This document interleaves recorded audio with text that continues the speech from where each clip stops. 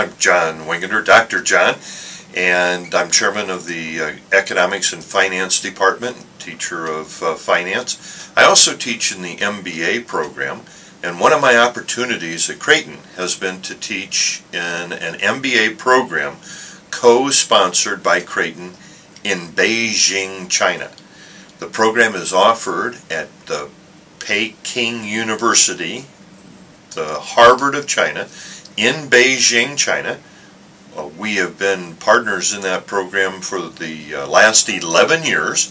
Uh, it was originally started as a consortium of Jesuit schools, 26 schools and colleges of business in the Jesuit system, all but Georgetown, uh, in a joint venture with the China Center for Economic Research located at Peking University.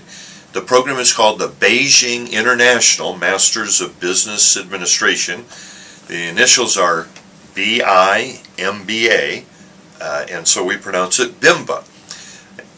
BIMBA has been recognized as the number one value-added MBA program in China by both Fortune and Forbes magazines in their independent rating services. So not only are we teaching at the number one recognized school of higher education in China, but we're also teaching in the number one recognized MBA program in China.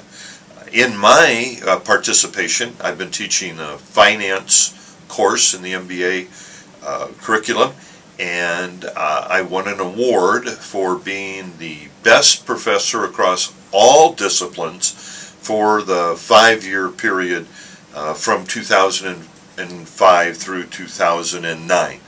Uh, winning that award was uh, also impetus in me being selected here on campus as the Robert Kennedy uh, Outstanding Professor. We award one of these at graduation, uh, and I was lucky to be honored here at the university as well.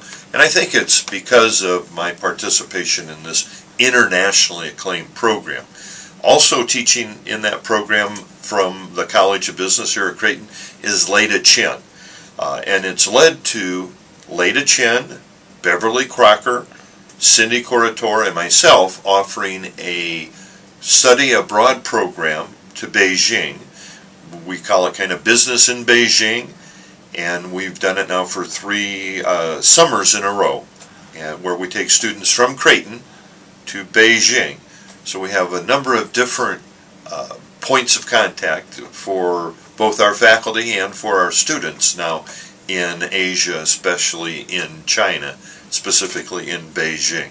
So if you're looking for business in Beijing, come to Creighton University.